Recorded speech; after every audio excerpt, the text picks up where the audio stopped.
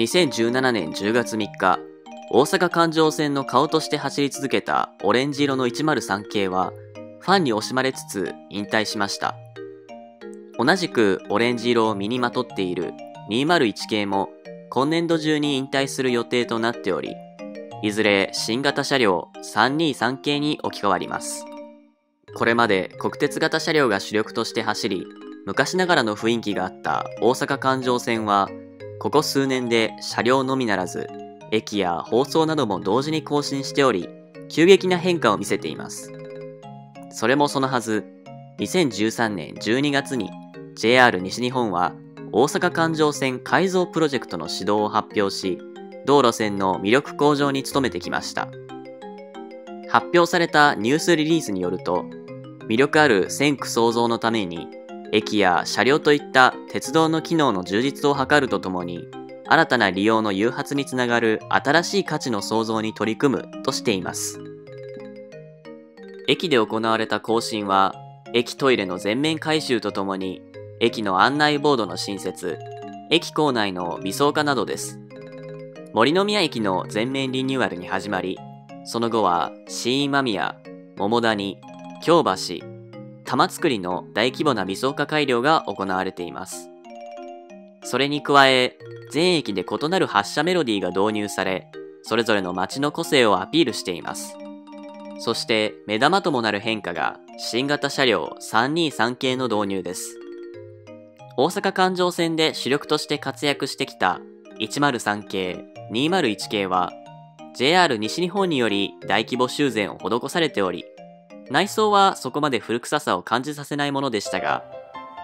乗り心地や外観はやはりレトロな印象がありました。そんな環状線に久々の心臓車両導入となり、鉄道ファンのみならず多くの利用者の間で話題を呼びました。323系導入前には、ホームドア導入のため全車両を3ドアに統一するということで、ラッシュ時の実証実験なども行われ、相当な準備と期待感を持って導入されました。ここでなぜ今になって JR 西日本が大阪環状線に力を入れ始めたのかという疑問が生まれてきます。JR 西日本はこれまで私鉄との競合が激しい路線に設備投資を集中させるという戦略をとってきました。特に京阪神においてはすべての新快速車両を223系、225系に統一し、普通用車両も207系、321系と比較的車齢の若い車両に統一されています。しかし、大阪環状線はというと、直接競合する路線がなく、大阪天王寺間で御堂筋線と区間が被っているとはいえ、お互いに補完し合っている状況です。そのため、環状線への設備投資が後回しにされてきたという背景がありました。実際、JR 東日本の2014年設備投資額は5550億円だったのに対し、JR 西日本は2240億円でした。つまり JR 西日本の設備投資額は JR 東日本の半分以下で限られた投資額でやりくりしていたということになり、環状線にまで設備投資をする余裕がなかったということになります。しかし、近年は環状線の設備投資の順番がようやく回ってきたというのが、大阪環状線改造プロジェクト始動の最大の理由です。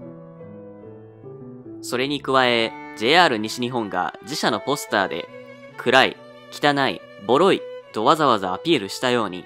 これまでの環状線の古臭さは沿線イメージの悪化につながりかねません。全面的にイメージチェンジを打ち出すことによって、沿線の魅力を向上するという狙いが見えてきます。さらに利用者数も1995年に136万人だったものが2014年には111万人と減っており観光客などの新たな客層にも環状線を利用してもらうためにも分かりやすくて綺麗な路線を目指しているという見方もできます。JR 西日本の他の路線にも目を向けてみると阪和線でも103系、205系が引退し、これまで国鉄広島と揶揄されてきた広島地区でも新型車両の導入が進みます。さらに最近は和歌山線、桜井線でも新車の導入が発表されています。数年前までは古い車両を末永く使うと言われてきた JR 西日本にも変革の流れがやってきています。ご視聴ありがとうございました。もしよろしければチャンネル登録、高評価をよろしくお願いいたします。